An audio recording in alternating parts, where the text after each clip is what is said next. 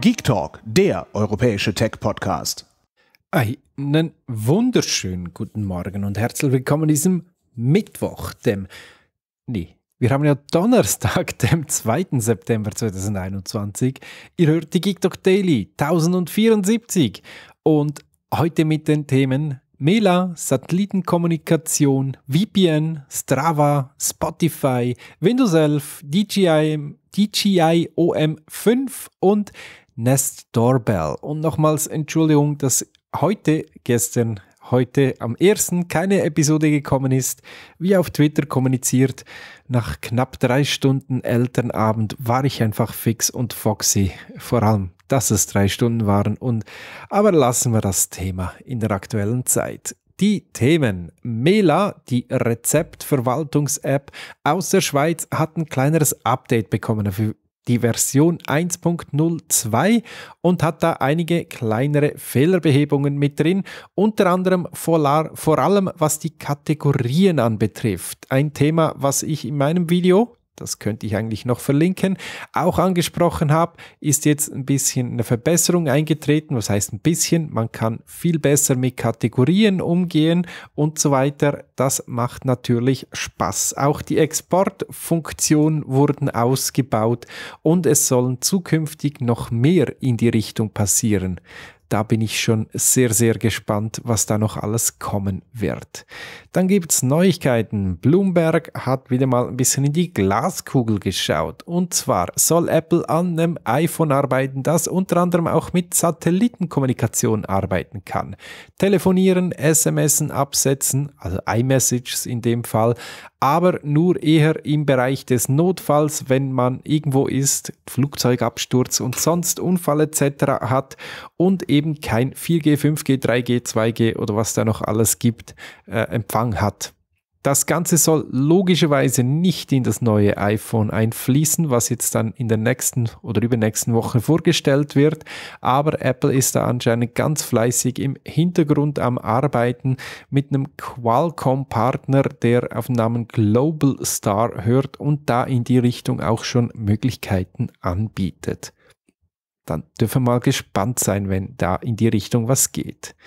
VPNs sind eine sehr praktische und sinnvolle Geschichte. Die Filmindustrie sieht darin einen Dorn und den möchten sie auch äh, angehen. Man fordert jetzt Anbieter von VPNs auf, dass die eben genannte Nutzer, die halt sich Filme mal äh, äh nicht ganz legalem Wege aus dem Internet runterladen, trackt und ortet und die dann auch meldet am liebsten noch. Ja, wenn das soweit kommt, dann äh, nee, lassen wir das. VPN ist VPN, fertig. Da soll niemand mithorchen. Vor kurzem habe ich euch ein bisschen was erzählt zu Strava und der Möglichkeit unter Wear OS, dass das Ganze gestrichen wird, zumindest alles, was bei Wear OS 2.0 und äh, nachfolgend gekommen ist es ist so, äh, Strava hat da nochmals nachgebessert. Auf den alten Systemen wird es noch unterstützt, aber es soll keine Updates mehr geben. Also zumindest ein bisschen aufschnaufen und nicht ganz so schlimm, wie ich damals mitgeteilt habe, aber nach wie vor sehr speziell. Dann, wie gesagt, die Galaxy Watch 4 wird ausgeliefert mit der Version 3.0. Die neuen Fossiluhren, die äh, vor ein, zwei Tagen vorgestellt wurden, ja, die werden noch mit der 2 ausgeliefert bekommen irgendwann im Jahre 2022 dann das Update auf die 3.0. Alles sowieso sehr, sehr speziell, was das anbelangt. Und irgendwie ist der Restart von Google auch schon wieder zum Schreit, äh, Scheitern. Äh, aber auch das lassen wir es lieber. Zu genau so einem Thema komme ich. Spotify Music bietet neu Talk und äh, Music, Spotify Music und Talk an. Das ist die Möglichkeit, um eine Spotify-Show zu machen. Ich sage bewusst nicht Podcast. Da soll man eine Spotify-Show machen können und eben Musik, die auf Spotify verfügbar ist, und das sind über 70 Millionen Songs, mit einspielen können. Die jeweiligen äh, Künstler sollen entlohnt werden, alles der, äh, wie, wie, es sich gehört und eben der äh, Showbetreiber kann dann Musik einspielen, darüber sprechen und eben Musik einspielen. Das Ganze funktioniert über die vor ein paar Jahren zugekaufte Plattform Anchor und müsste man mal ausprobieren. Aber eben, Spotify-Show kann man machen. Ich hätte da sogar eine Idee.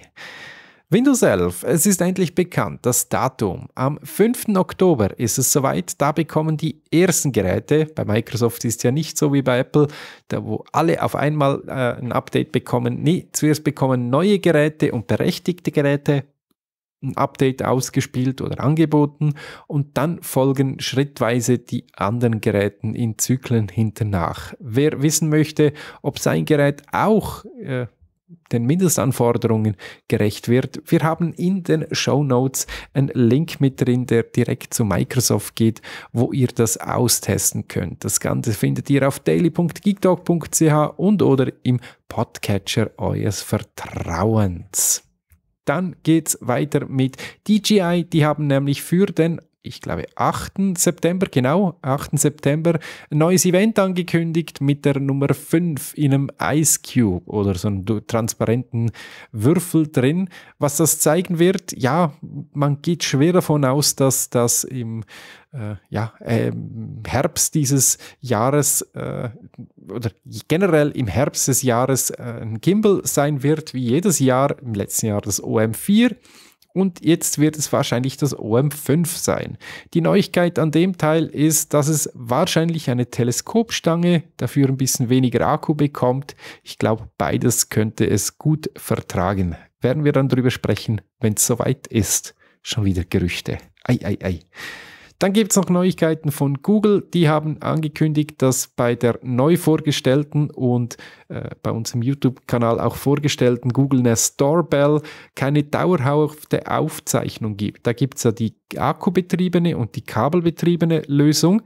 Die kabelgebundene kommt erst noch, ähm, wird dann nachgeliefert in dem Sinn, äh, da gibt es auch keine dauerhafte Auf, äh, Aufzeichnung. Liegt unter anderem daran, dass das Gehäuse sehr klein und kompakt ausgefallen ist und somit bei zum Beispiel äh, einer heißen Umgebung oder direkten Sonnenlicht auf das Gerät das gar nicht vertragen würde, permanent aufzuzeichnen. Wichtig zu wissen für diejenigen, die möchten oder Nachbarn, die denken, dass sowas passiert. Genau.